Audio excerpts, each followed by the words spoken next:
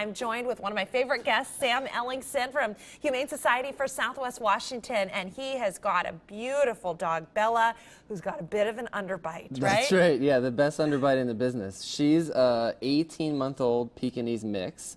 Um, Bella is an absolute sweetheart. She was uh, she had an overnight with me last night, and uh, she got to know my dog, played in the backyard, and um, she's just a perfect house guest. You know, Right. she really is. She's she's quiet. She's very sweet. She loves sitting on laps. She gets really attached to people, doesn't she? She pretty does. quickly. Yeah, absolutely. If you could have seen her uh, with her foster mom when I picked her up, I mean, she did not want to leave her foster mom, and she was, she was, she was hoping that she could go with her. But after just a few minutes uh, in my house last night, she was totally fine and snuggled up, or or going out to play or whatever. She does a really great job. Super Briefly, Sam, do you know anything about her past? um, she came in as a stray. She's been with us for a couple months. She is out in foster right now because she just really doesn't do well in the shelter environment. Right. I don't Uh, blame her. I wouldn't either. Yeah, and she's a little bit shy, so um, we're asking that she goes to a home without kids under the age of 14.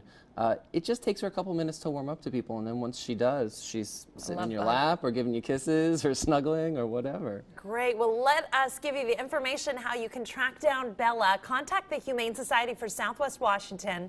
Their number's on your screen 360 693 4746. If you go to the community section of KOIN.com, scroll down, you'll find the second chance segment. You can watch this segment. There's also the contact information for the Humane Society. Again, Bella is in foster care, so you won't find her at the shelter there.